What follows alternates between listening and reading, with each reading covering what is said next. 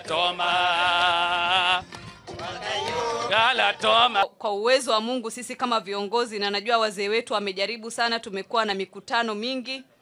E, tumekuwa na mikutano hapo kwa county commissioner pamoja na leaders na wazee na even MCAs tumekaa mara mbili, na juzi pia tumeenda Malindi tukakaa, na tumejua chanzo kubwa ya hii vita ni mambo ya ardhi, na tukasema ni haki ya kila mwanatanariva kuhusishwa katika mambo ya ardhi.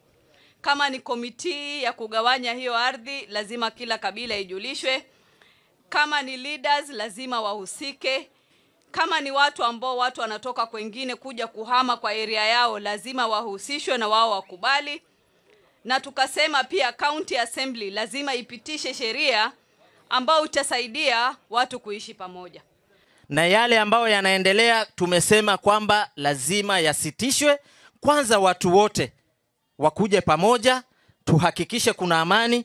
Kama kutakuwa na mambo ya kuenda sasa kama ni ugavi ama kama ni kuhamisha watu waende wakae pamoja lazima kukuwe na yale kuafikiana.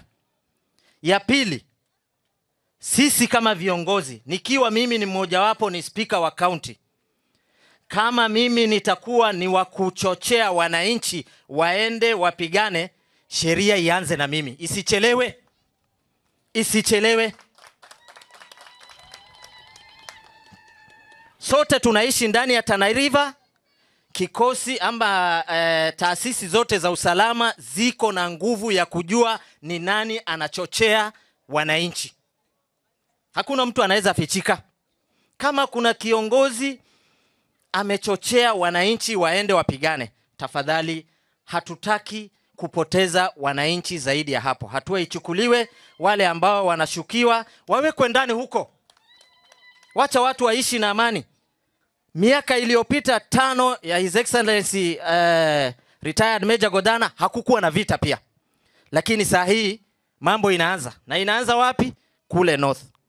Tafadhali sana wananchi wa no, Tana North wengi wako hapa, wale wazee ambao wametoka kule wanataka amani. Mimi kama Hussein Dado siamini jamii moja ni bora kuliko ingine. Jamii zote ni sawa. Tana River inatutosha.